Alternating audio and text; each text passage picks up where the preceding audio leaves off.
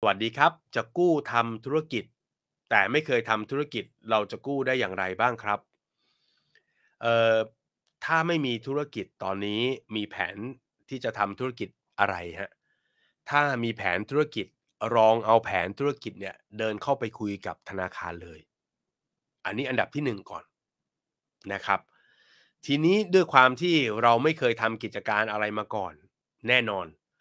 นะครับถ้าคุยกันแล้วปรากฏปรากฏว่าเฮ้ยแผนธุรกิจดีเว้ยนะก็จะมาคุยต่อแล้วปัจจุบันมีรายได้อะไรครับทำธุรกิจอะไรมาบ้าง ปรากฏว่ายังไม่ได้ทำธุรกิจอะไรเลย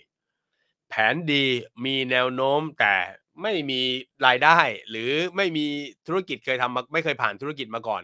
เขาก็อาจจะร้องหาตัวหลักทรัพย์ค้ำประกันนะครับหรือเงินฝากนะครับหรือเงินฝากนะครับว่าอาจจะมาฝากตายไปทิ้งไว้ที่นี่แล้วก็ได้เงินก้อนหรือสินเชื่อไป หรืออีกแบบหนึ่งคือถ้าเคยทำธุรกิจมาก่อนเขาก็จะขอดูรายได้จากธุรกิจก่อนหน้านะครับอ่าแล้วก็เอ่ออย่างไรก็ดีครับก็อาจจะมีการเรียกหลักทรัพย์ค้ำประกันกันอยู่บ้างนะครับเพราะว่าเขาก็เป็นกังวลแต่ถ้าเกิดว่าคุณทำธุรกิจเดิมอยู่ แล้วเขยิบออกไปจากธุรกิจเดิม เป็นความเชี่ยวชาญที่แตกหน่อออกไป ก็พอจะมีแนวโน้มนะครับที่เราอาจจะได้สินเชื่อได้วงเงิน โดยที่เราอาจจะไม่ต้องเอาหลักทรัพย์วาง นะครับแต่ทั้งนี้ทั้งนั้นก็ต้องขึ้นอยู่กับจำนวนเงินที่กู้ด้วยนะ ถ้ากู้เยอะก็เรียกหลักทรัพย์อยู่แล้วนะครับ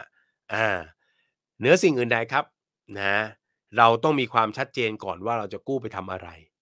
นะเพราะว่าถ้าเดินเข้าไปคุยในธนาคารเนี่ยเขาต้องถามอยู่แล้วว่าจะเอาไปทำอะไรอยู่ดีใครจะให้เงินล่ะยืมทำธุรกิจมันไม่ใช่บาท 2 บาทนะมันยืมกันเป็นทีเป็นล้าน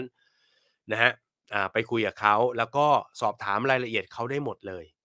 นะครับ ผมเองตั้งแต่ตอนอายุ 20 เศษก็เดินเข้าธนาคารแล้วก็กู้เงินนะครับ ตอนนั้นหาญกล้ามากขนาดเป็นหนี้โง่ขนาดไม่รู้ว่าติดเครดิตบูโรอยู่เนี่ย จะไปกู้ซื้อคอนอ่าตอนนั้นจะกู้ซื้ออพาร์ตเมนต์เว้ยนะครับแล้วไม่รู้ปรากฏว่าเฮ้ยอพาร์ตเมนต์เขาไม่ได้ให้กู้เหมือนสินเชื่อบ้านว่ะมันเป็นสินเชื่อธุรกิจเขาไม่ให้กู้ 30 ปีเว้ยเขาให้กู้แค่10 ปีเขาไม่ให้ดอก 1-2%เปอร์เซ็นต์เว้ยเขาให้ดอก8-9นึกออกไหมครับแล้วเขาไม่ให้100ว่ะเขาให้แค่70มึงต้องมีเงินส่วนตัว โอ้โฮ108 1,900เก้าเราก็ได้เรียนรู้ไปด้วย เพราะฉะนั้นผมเองอะพอเริ่มต้นศึกษาการลงทุนมากขึ้นเรื่อยๆเนี่ยผมเปลี่ยนคำถามนะคำถามผมง่ายขึ้นเยอะเลย พี่ผมอยากทำธุรกิจเนี่ยนะครับก็เล่าธุรกิจให้เขาฟัง หลักทรัพย์ผมพอจะมีอันนี้นะเฮ้ยผมไม่มีหลักทรัพย์เลยว่ะนะผมก็จะคุยกับเขาให้รายละเอียดเขาจนหมดทั้งสิ่งที่เราจะทำสิ่งที่เรามี จากนั้นคำถามของผมคือ พี่อยากกู้ผ่านอะต้องทำยังไง?เข้าใจคำถามผมไหม?คือทำไมเราต้องอยู่วงนอกอะ คุณต้องอ้อมมาหาผม แต่ไม่ได้โกรธนะ ผมก็เต็มใจตอบเท่าที่ผมเคยเอ่อทำงานกับธนาคารมากู้เงินธนาคารมาลงทุนทำกิจการ ถูกไหม?เราถามคนอื่น ซึ่งไม่ใช่คนให้เงิน คนให้เงินแม่งชัวร์ที่สุด อันนี้คือคนที่แม่งบอกแล้วว่าอันนี้คือได้ อันนี้คือไม่ได้ เพราะฉะนั้น ผมก็เลยคิดง่าย ๆ ว่างั้นกูถามคนเนี้ยก็เลยถามเขาว่า"พี่ทำยังไงถึงจะกู้ผ่าน ผมต้องมีอะไรบ้างครับ ถึงจะกู้ผ่าน พี่ดูจากอะไรบ้าง?"ผมจะได้หาข้อมูลมาเตรียมให้พี่ ผมจะได้รู้ว่าเอออย่างเงี้ย ผมบกพร่อง ผมไม่ต้องยื่น เสียเวลา